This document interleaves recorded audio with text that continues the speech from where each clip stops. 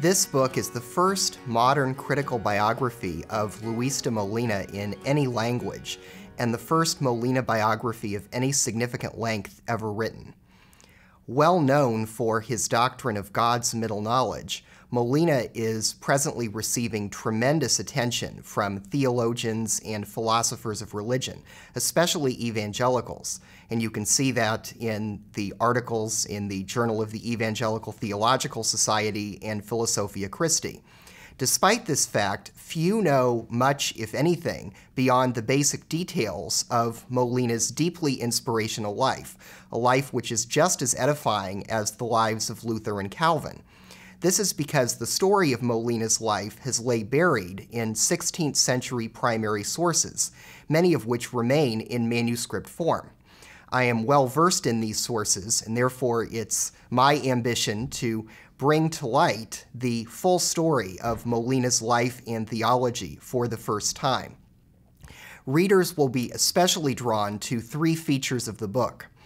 First, the book places Molina's development of his theological system in its religio historical context.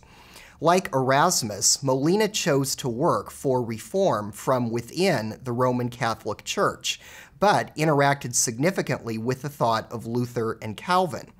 Molina therefore aimed to enhance the sovereignty of God by harmonizing it with libertarian human freedom.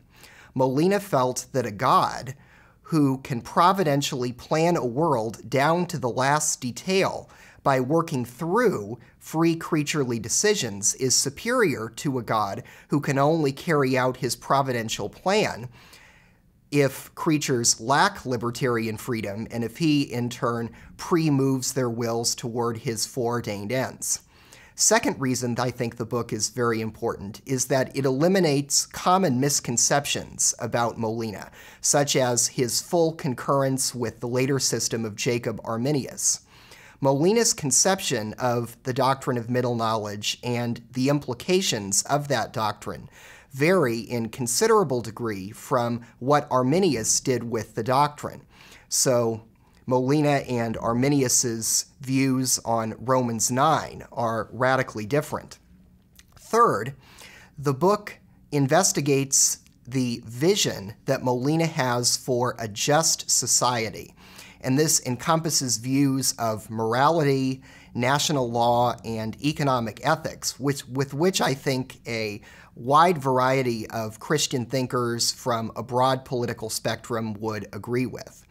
So this book will significantly advance the conversation about Molina's doctrines of middle knowledge, predestination, human freedom, and begin brand new conversations on Molina's life story, on Molina's biblical exegesis, and on Molina's practical theology.